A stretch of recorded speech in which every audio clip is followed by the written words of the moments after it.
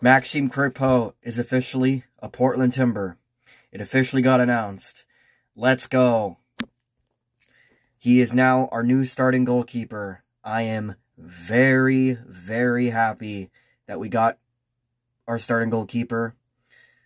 And our defense is looking good and it's set. And I'm very happy. We got some big, big we've added some big additions into the back line, and I'm very happy about that. And yeah, Crepeau is now officially a Portland Timber. Let's go.